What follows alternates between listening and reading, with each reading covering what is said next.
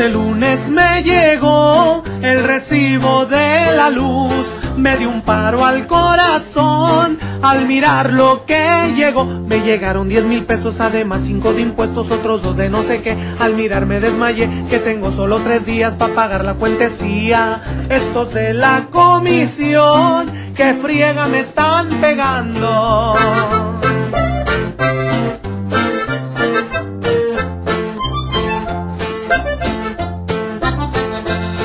Cuando vi el precio total, no coincidían los kilowatts. Cuando les fui a reclamar,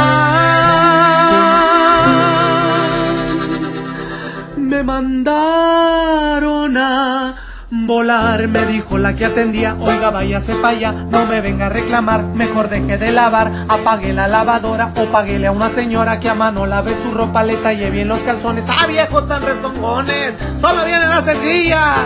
Pero bien que prenden todos los mini splits de la casa. Aguántese la calor, no esté fregando, señor. Que me agarro y que le digo. Mire con todo respeto que creen que cago dinero yo no sé de dónde sacan que yo gasto esto de luz. Si la casa que tenemos es casa de Infonavit apenas yo quepo ahí no tenemos mini split. Usamos un abanico y no tenemos lavadora con el sueldo que me dan apenas tengo licuadora y lo poquito que yo gano me lo quita comisión. Qué triste la situación. Y para acabarla de amolar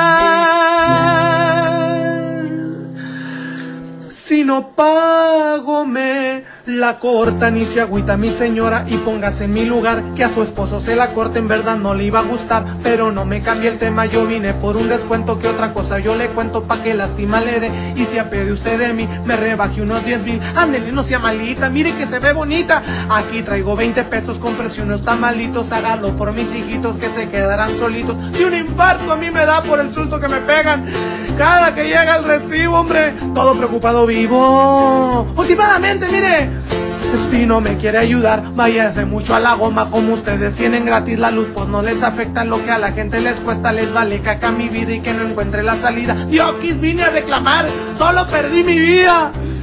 Mi día, mi vida y. y hasta mi dignidad. Estos de la comisión que friega me están pegando.